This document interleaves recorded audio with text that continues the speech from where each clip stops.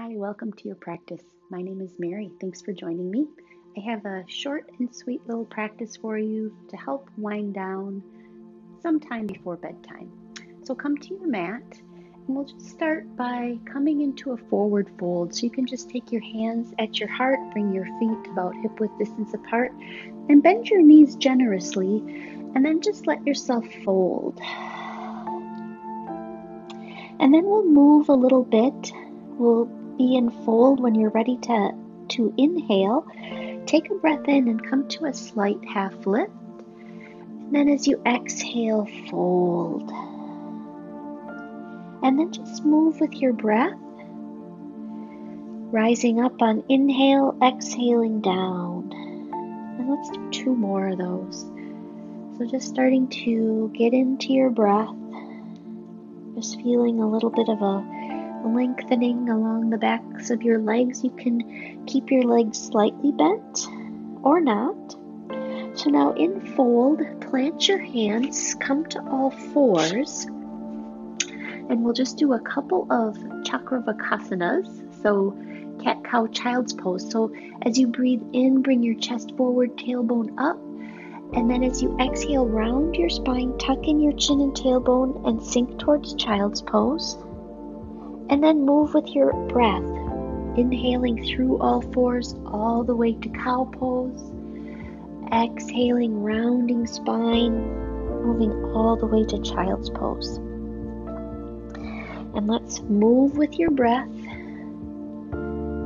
just following your own breath rhythm. And we'll do one more and then we'll land in child's pose. So you could have your knees wide. Start with your arms stretched out in front of you. You can start by tenting your fingers and then relaxing your palms to the ground. So inhale, just tenting your fingers, exhaling down. And then bring your right hand to the outside of your mat. Place your left hand on top of right. Take a breath here and then move back to center with one breath and then move to the other side. Taking a breath in and a breath out. So, feeling some lengthening along your right side body. Come back to child's pose with your arms in the center. And then press yourself to all fours and then make your way to a seat with your legs in front of you. And we'll just do a nice forward fold. So just leaning forward. You could have your hands on your thighs or your shins, maybe your toes, but don't overstretch. So just feeling a sense of lengthening along the backs of your legs. And then bringing awareness to neck and shoulders, noticing if you're holding tension there. You could move your head from left to right just to see if there's tension. Maybe do just a slight roll of the shoulders one direction and the next. If you feel some tension, perhaps sit up just a little bit more. And just allow yourself to have a smooth and even breath.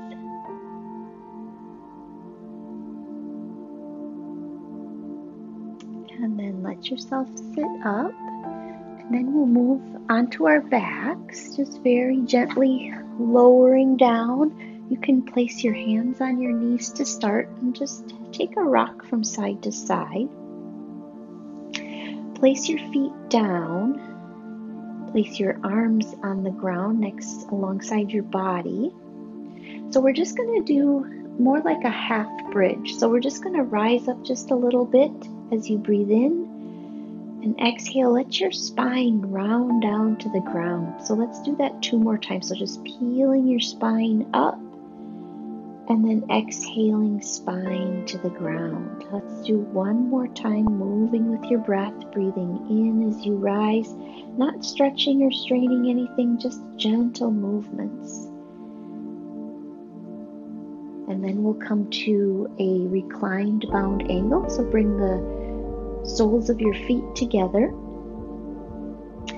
And just let your legs open up. You could have your hands alongside your body. You could place your hands, one hand on your belly, one hand on your heart. So just take a moment here. Let's take two rounds of breath. Breathing in and out.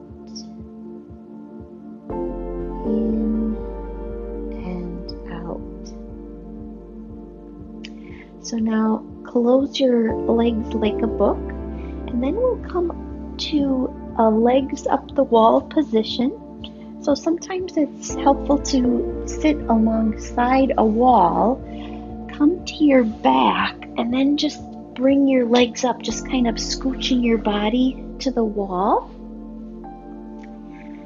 And then we'll stay here for two breaths.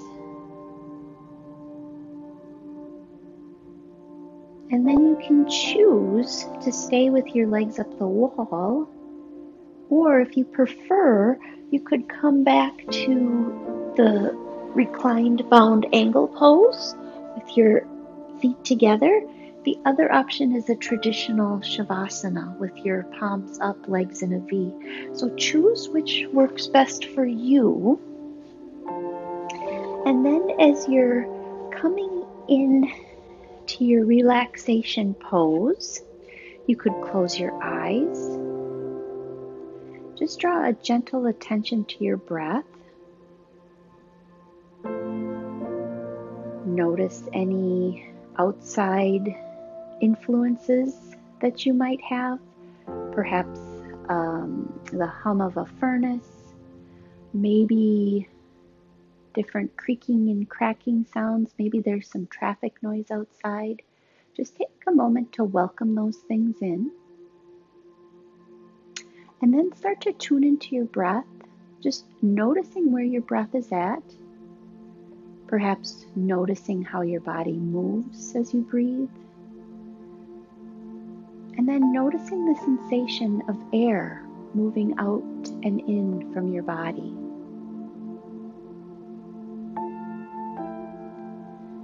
Take a moment to notice the surfaces that are supporting you.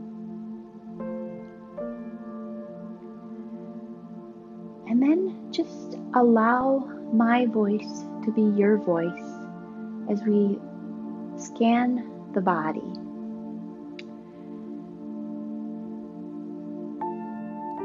Forehead, right ear.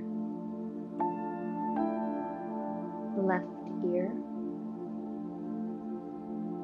mouth, lips, right shoulder, right elbow, right wrist, right fingers, feeling your whole right arm radiant sensation. Left shoulder, left elbow, left wrist, left fingers, the whole left arm as radiant sensation.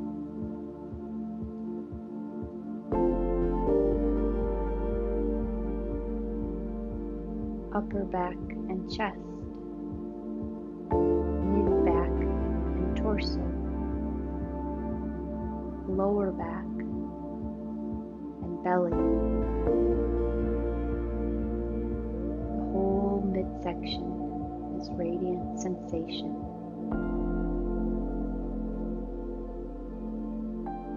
Right thigh, right knee, right ankle, right toes. The whole right leg has radiant sensation. Left leg, left thigh, left knee, left ankle, left toes The whole left leg is radiant sensation.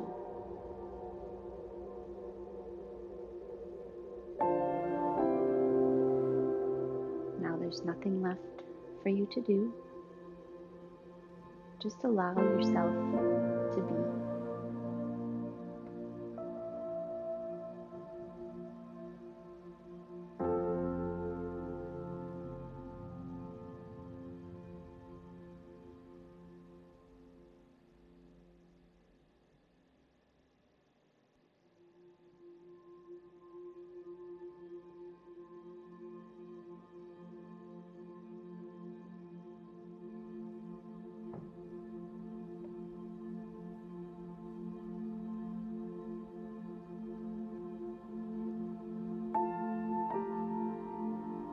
Feel free to stay in your relaxation state for as long as you need.